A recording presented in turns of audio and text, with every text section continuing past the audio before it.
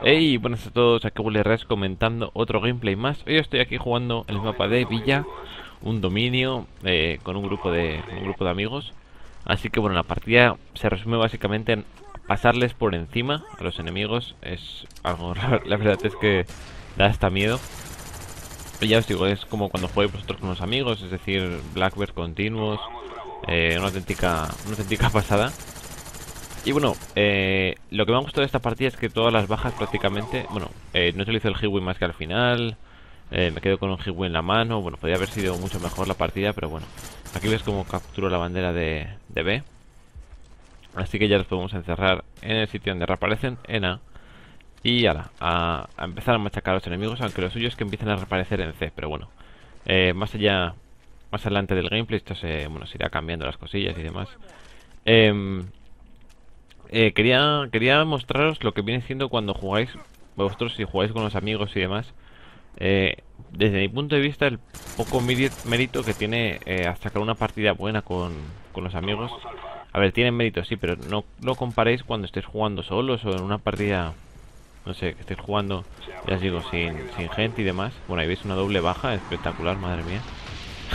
Eh, digo cuando estés jugando solos que jugar con los amigos, porque cuando juegas con los amigos eh, es que directamente pasas por encima del enemigo, es algo eh, agotador y desde mi punto de vista a mí no me lo paso bien, correr de un lado para otro todo el rato, buscando que reaparezcan en una punta, que luego reaparezcan tres en la otra punta, ir de un lado para otro. La verdad no, me gusta, no sé, ir como con más mm, tranquilidad, por así decirlo, no ya os digo, no de un lado para otro, cambiar los puntos de reaparición, ese tipo de cosas tampoco me, hacen demasiada gracia. Y bueno, aquí veis, estoy utilizando las famas de oro, hacía bastante que no, no subía con las famas de oro. Y bueno, aquí revivo a mi compañero, que conste que era porque es del equipo. Ahí estamos, bueno, se, resiste a que le pinche, le da miedo las inyecciones, pero no pasa nada. Ahí vemos que estamos perdiendo C, que es lo que realmente queríamos. Pues bueno, pues tomamos tomamos A y ahora pillamos otra vez la bandera de, A y vamos a por C. Y así con tontería nos acaban de quitar todas las banderas, así en un momento.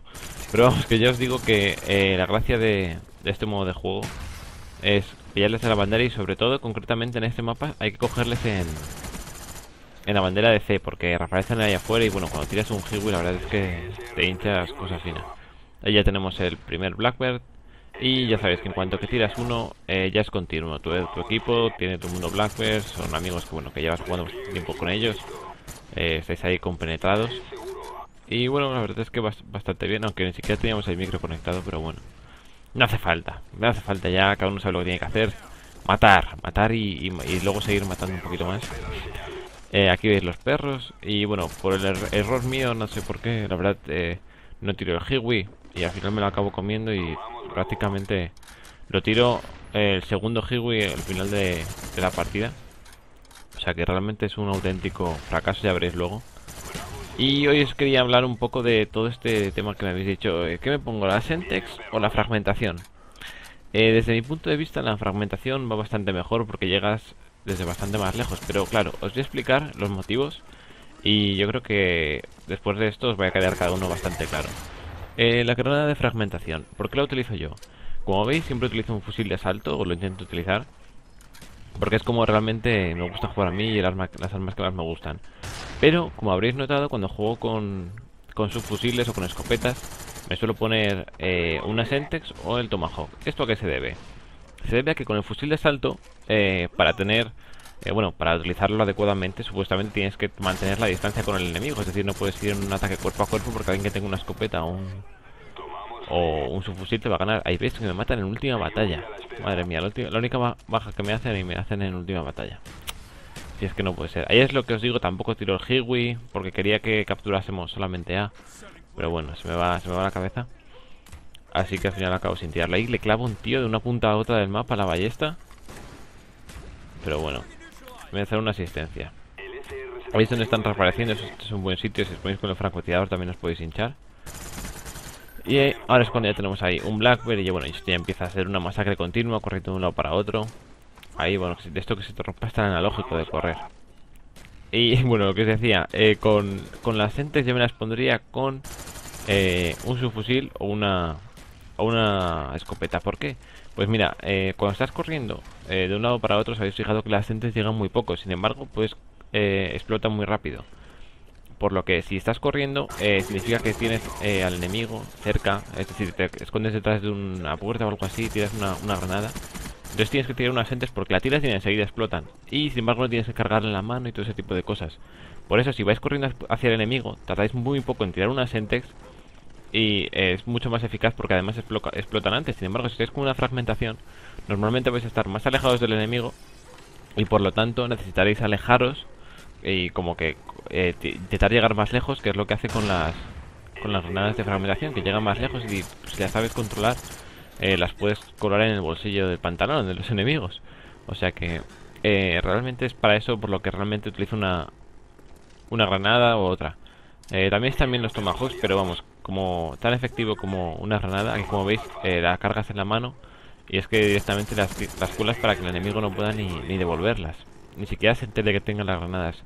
Y eso ya es con la práctica, eh, acabas probando y demás, y sois gente que va a, por el enemigo así, eh, a por ellos, poner Sentex o Tomahawk si vivís al límite, o si no, si vais con más calma, poneros una fragmentación porque la verdad es que da bastante mejor. Yo creo que es algo que os interesaba a vosotros porque, sinceramente, no sé qué está ahí la gente pensando. Eh, estáis ahí como muy eh, diciendo, eh, ¿qué me pongo? ¿Este o esto u otro? Pero las preguntas que más he recibido ha sido la de... Eh, ¿Qué me pongo? Eh, ¿Fragmentación o qué me pongo? La... la, Sentex. Pues ese tipo de cosas es la que más me preguntáis. Y bueno, aquí como veis, eh, me quedo otra vez, me, me quedo con los perros, no me puedo tirar siquiera. Eh, no he tirado ningún Hiwi de los dos que tengo guardados. Eh, el Blackbird no sé si lo he llegado a guardar a tirar tampoco, o sea que bueno, un auténtico desastre.